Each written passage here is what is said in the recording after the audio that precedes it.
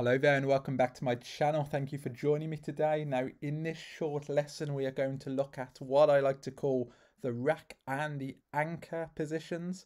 I will show you a few positions. I want you to try to work out the best play and then afterwards I will show you the XG analysis and offer some rationale. So let us get started. Now in the first position white has a 5-4 to play. Let me first clarify the term the rack, which you saw in the video title.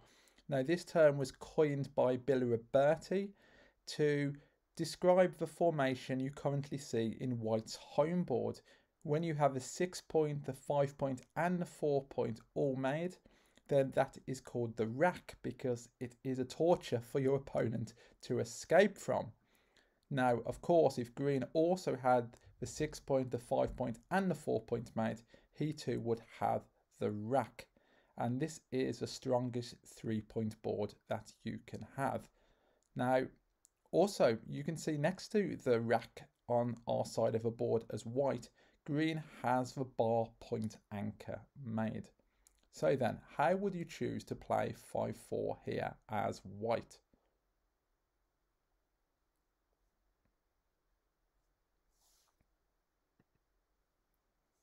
Now the correct move there you can see on the top right hand XG panel and it is 161139 resulting in the bottom right situation. So you can see there the arrows on the left of the move being played and on the bottom right after the checkers have been moved. Now this position is not intuitive you may have instead have played 13 to 4 or you may have seen that you were 19 pips up in the race and made the running play of 24 to 15 you may have even have chosen to attack the blot on the one point there but all of these would have come up as errors or even blunders. And the best play is by a clear margin 16 11 13 to 9 now, looking at the position after the move has been played there, you may ask yourself, well, why would I choose to leave two blots there for green to hit with any two or any four and even some combinations? Now, there's a few things we need to consider, and they are the rack and the anchor. Now, the first thing to notice is that we have the stronger home board we have a three point board as white, whereas green only has a one point board. Therefore, we can make slightly bolder plays. The second thing to notice is that green's bar point anchor is stripped. He only has two checkers on that point. Now this means if green is going to hit us with a 2 or a 4, he's most likely going to leave indirect shots for us to hit back. Here in fact the only good rolls for green are double two, double four, double one and four two and all of those actually do something good on the other side of the board and make inner board points for him. So here if green were to roll a hitting number he would be faced with a dilemma of whether to hit or whether to do something constructive and strengthen his own home board. Now, if Green were to roll something like a 4-3, which would be a hitting number, and he played it 7, 11, 11, 14, bringing that checker around the corner, then I could tell you as white, even though being on the bar, we would have a double and green would have a take. So that just shows you how strong our position is. Now if we played that position forward even more, green hits us with 4 3, 7 11 carries around to 14. Then we come in with 1 6 2 6, 3 6 4 6 5 6, and we enter, and then we hit green's blot on the bar point, which now would have been broken after the 4 3 hit. Then, if green enters on the ace point, he has to pass the cube, even with the ace point being made. And if he doesn't enter on the ace point and instead comes in on a two or three, then we are in a too good scenario. So here we get a maximum amount of cube efficiency here after making this bold play. We are effectively freezing the anchor. Now, because green only has two checkers on the bar point, he can either choose to not hit us and therefore the anchor remains frozen, or he can choose to hit us and give us a lot of counterplay and a lot of effective cube action. So here bringing two down in front of a stripped point is a strategic move, particularly when you have the rack formation. Let's now look at another position. Now here I've made a variation and white now has a 6-2 to play.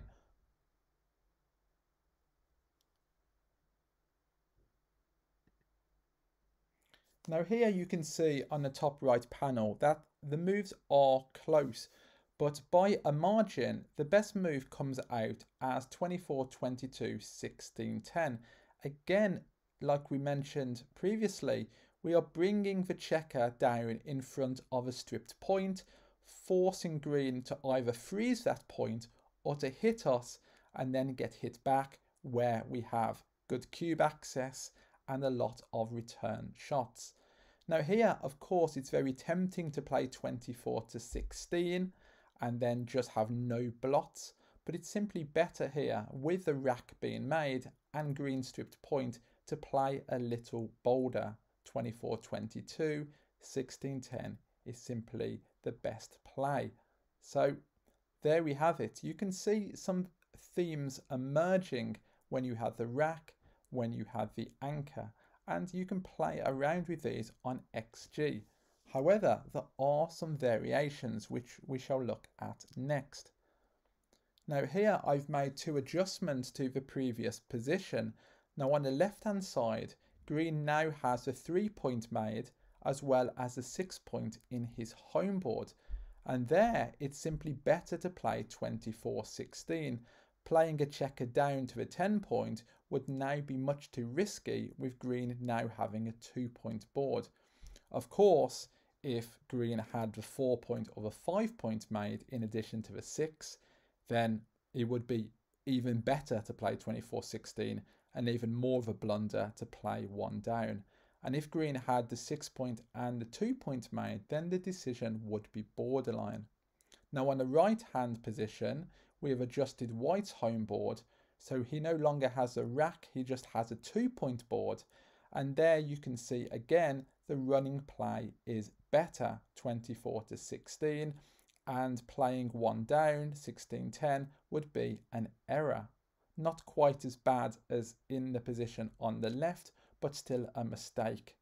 So here we need to have the ingredients of the rack formation and green's stripped anchor for this to work. Now let's look at one more position. Here white now has a 6-4 to play.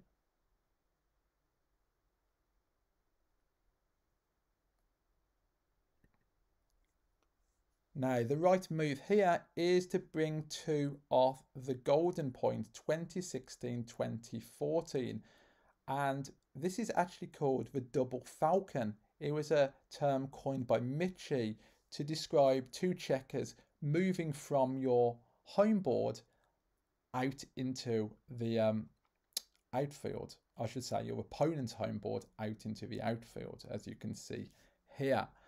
Now, again, we can apply some of the logic from the previous positions, and now we can see green stripped point is the midpoint where he only has two checkers. Now, by stepping in front of that point, as we are doing here by breaking the golden anchor and bringing both white checkers into the outfield, we are again forcing green to break that point and giving ourselves good returns where we can capture green and contain him behind our rack formation. So here we can see again the same patterns emerging that you may recognize over the board when you play and that will help guide you towards making the right decision. Now it may look risky, of course, bringing two blots, you know, in direct range of green, But how risky is it? Like I said before, unless green rolls a double, such as a double two or a double four here, which is only two rolls in 36, then the chances are he may not even choose to hit us. He may choose to freeze his anchor and not hit us at all. And if he does hit us, we are giving him a difficult decision and he is giving us a lot of counterplay and a lot of cube action. And that's what we want to do in backgammon. We want to give our opponent tough choices over the board. And again, like before, we can see the variation to that position. Now green has the three point made as well as the six point on the left. And now it's an error to bring two off the golden anchor. And on the right hand side, we now have a two point board rather than the rack and now it's simply better to play 13-3 and again it's an error. So when you have the rack, when your opponent has a stripped anchor, you can play bolder. So hopefully looking at these positions, you will have some idea of how to play these moves over the board. And I have done a video on freezing checkers, which I will add to the video description, which goes into further detail on this, but it is a common strategic idea that you see applied a lot where you look for stripped points, you step in front of them with a blot, and you try to tempt your opponent off that anchor to break an asset and give you a lot of return shots and counterplay and potential cube access. So there we are. Thank you for watching. I just wanted to end on a shout out to all the marvelous guests I've had on my channel please do check out these lessons. Go into my playlist and watch these. They've given up their free time and they've shared some fantastic backgammon knowledge and experience. There really is a lot to learn from listening to these grandmasters. I am planning to get on more grandmasters in the future and other top players. If you have an idea of someone you would like to appear on the channel, maybe even yourself, then please feel free to contact me in the video description or send me an email. I will do my best to contact these people and get them on and share their valuable knowledge um, for yourself and the wider audience. So many thanks for watching. Um, stay tuned. New videos every Wednesday. Happy rolling. See you next time. Bye bye.